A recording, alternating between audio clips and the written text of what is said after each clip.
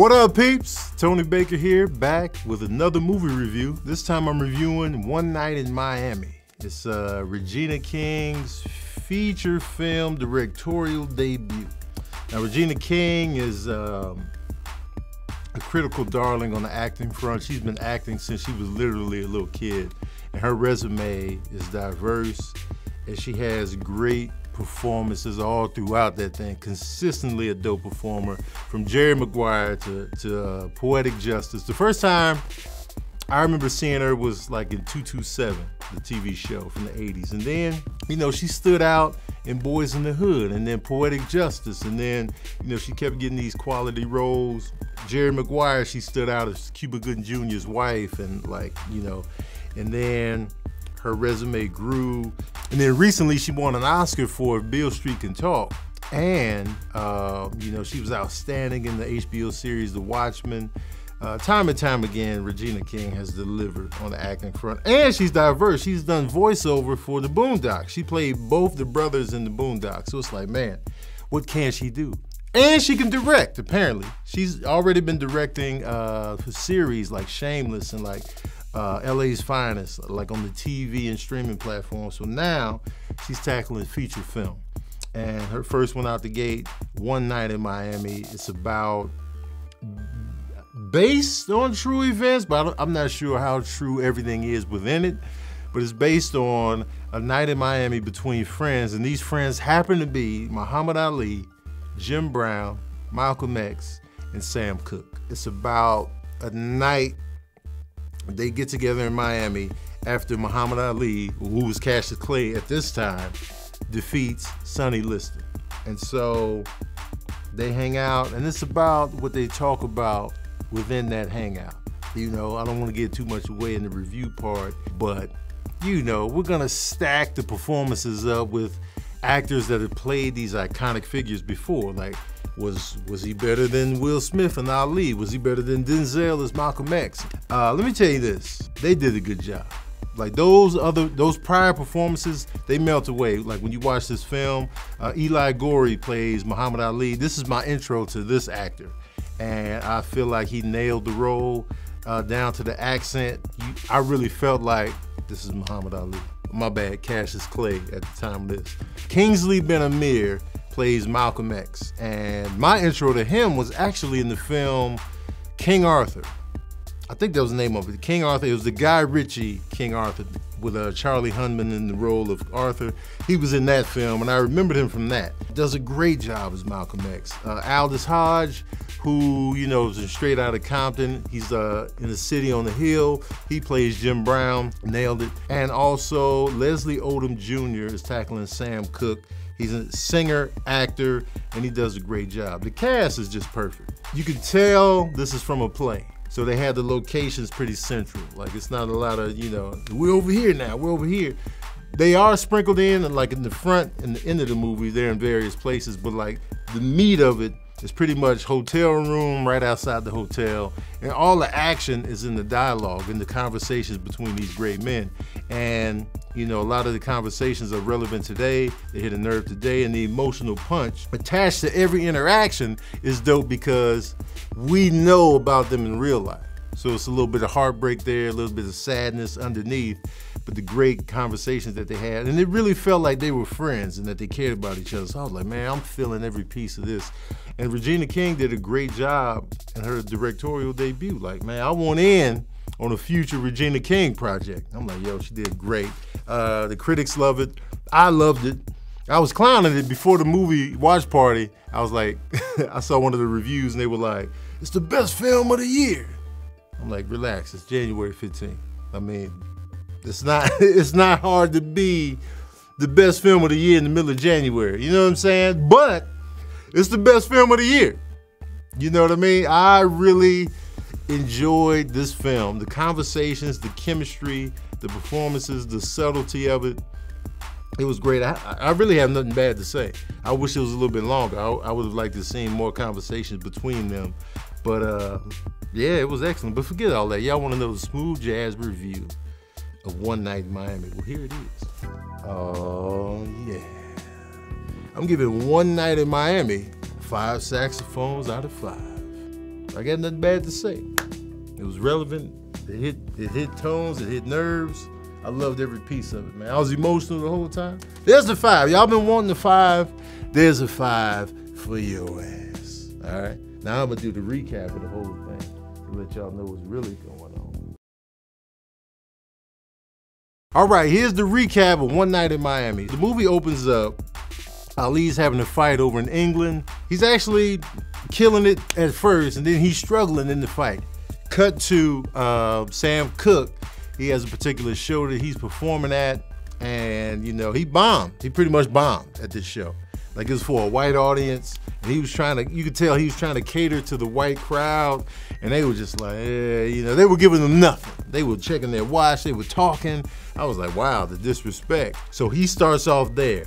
And then we they show Jim Brown show up to a, a, nice place in Georgia, and the guy he's talking to is played by Beau Bridges, who's Jeff Bridges' uh, brother. I was like, oh, Beau Bridges is back. And he's this guy, he was showering Jim Brown with praise and like, oh, all the yards you got, you man, you are just killing it. You are a credit to the state of Georgia. This, that, and the third, flooding it with all types of accolades and love and they're on the porch. And you know, we were marveling at the porch. You're like, man, ain't nothing like a good porch, a good southern porch. But a southern porch has a lot of history on that porch. So it was like, hmm. So it's funny, he was showering all this love, and then Jim Brown was about to walk into the place, and he was like, no, I don't I don't allow niggas in my place. And I was like, whoa, whoa. Didn't see that coming. Uh, wow. And then Malcolm X was giving a speech and this is around the time that Malcolm was starting to fray from the Nation of Islam and Elijah Muhammad. So it was just like, you know, he was having a conversation with his wife and just like, you know, so it was pretty much all these great men were kind of taking an L in the beginning. Like they were taking some kind of, it was like a struggle for them, a conflict. Like you think of these great men and all the things that they achieved, but within that, you had moments of like uncertainty, um, doubt, you know, taking L's, you know, a bad show. To some people, when you perform, you're only as funky as your last show. So, you know, they were dealing with all these things. Cut to Miami, huge fight for uh, Cassius Clay, who's Cassius Clay at this time. Malcolm wanted them to get together after the fight and celebrate. And uh, so they all agreed, they were all friends. Jim Brown was ringside. Malcolm X was in the crowd taking pictures. Sam Cooke was there with his wife, and he wins the fight, becomes the champion that night. So they get together, and you know, Sam Cooke is super successful at this time at a lavish hotel across town in Miami, but Malcolm is keeping it subtle, nice little subtle hotel. Cause this is Malcolm X. He's not balling like that. You know what I mean? He's a he's a civil rights leader. You know what I mean? So it's not like even if he wanted to ball out like that, you you not you not gonna ball out like that. People be like, oh, you lavish over here, Malcolm X. And they had the you know the the Muslim cats safeguarding them. Basic low rent motel. They all get together. They in there. And Jim Brown's like, where the women at tonight? And they're like, you know, Malcolm's like, you know, I thought we just kick it, you know, as friends. I got some ice cream in the refrigerator. It was cute, man. He pulled out the little ice cream. And these are grown men. Cassius Clay is now the world champion. It's just like, we're not partying. We doing this. I just want to talk to y'all, keep it simple. I was like, this is adorable. That was an adorable thing to see from Malcolm when everybody else wanted to party as men, as famous men, they was just like, where the party at? Party's right here, we're gonna talk this out. And they were just having great conversations about where they were in life as men and then the conflicts that they would have within the conversation. Like Malcolm felt that, you know, Sam Cooke wasn't really using his his platform right to really speak to the struggle and what was going on and, and be a true weapon. And like, you know, Sam Cooke is like, you can't really say that. You know what I'm saying? Like, you know, I'm doing this. You know, I'm I'm I'm I'm writing records. I'm behind the scenes. I'm giving other black artists, you know, a chance to perform on my platform. my platform. That's the term we use now. But I'm putting money in their pockets. Like, for example, like you know, the Womacks. You know, they had an R&B hit that only went to 93 on the chart cut to the Rolling Stones wanting to cover that same song. And, you know, at first I was like, nah, but then I was like, all right, I'll, I'll, let you guys get the rights to this song and redo it. And so, you know, Sam Cooke and the and the Womacks got a piece of that, and that song went to number one on the charts. So now, you know, they're eating behind the scenes, even though the, the song stalled out at you know 93 on the R&B charts, and that was the dilemma. It was like, okay, so black music can get redone by white artists, but now it's thriving as before it just stalled out here. That's what I'm talking about. You, you're not. And Malcolm was frustrated with that, and Sam Cooke was was handling business in his own way because he was a businessman as well as a music artist. The stuff that Sam Cooke was doing at that time was revolutionary. So they were having that whole conflict there. Cassius Clay was slowly coming over to the Nation of Islam. Jim Brown was, you know, at this time, he was the rushing leader in the NFL, killing it, and then he wanted to transition into movies. He was like, yo, you doing movies now? He's like, yeah, don't tell nobody, but you know, I'm doing like this little Western, you know, I died in the middle of it, but you know, oh, you get killed in the middle, yeah, you know, but they paid me $37,000. Now, mind you, this is 1963. $37,000. I Googled it. I was like, how much is that now? It's like 300 some thousand dollars just for a movie role. I was like, come on, man. Who's passing that up? So you got this whole dilemma.